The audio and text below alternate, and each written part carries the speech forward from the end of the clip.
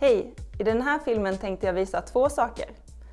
Den första är hur du får internet i din lägenhet och den andra är hur du får tillgång till grundutbudet av TV-kanaler.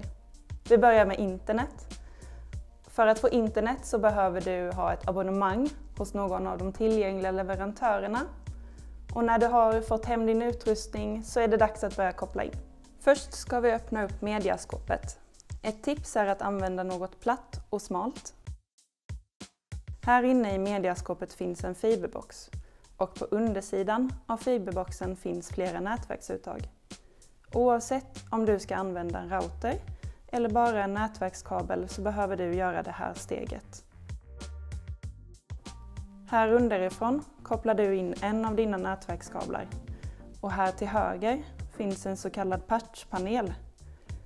Numren som står på panelen motsvarar numren som står på uttagen i dina olika rum. Jag vill till exempel ha min router i sovrummet. Så i detta fallet väljer jag uttag nummer 5 eller 6 som jag ska använda mig av. När jag kopplar in uttag nummer 5 på patchpanelen i mediaskåpet är det viktigt att jag kopplar in nätverkskabeln i nummer 5 i sovrummet.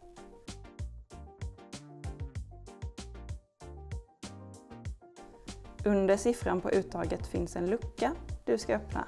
Här kopplar du in nätverkskabeln och ansluter den till routern.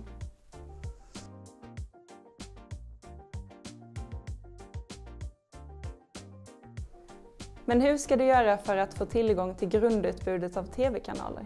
Jo, det ska jag berätta för dig. Som boende i Stadskvarteret har du tillgång till Tele2s grundutbud av TV-kanaler. Det enda du behöver göra är att kontakta Tele2 för att få TV-hubben hemskickad till dig kostnadsfritt.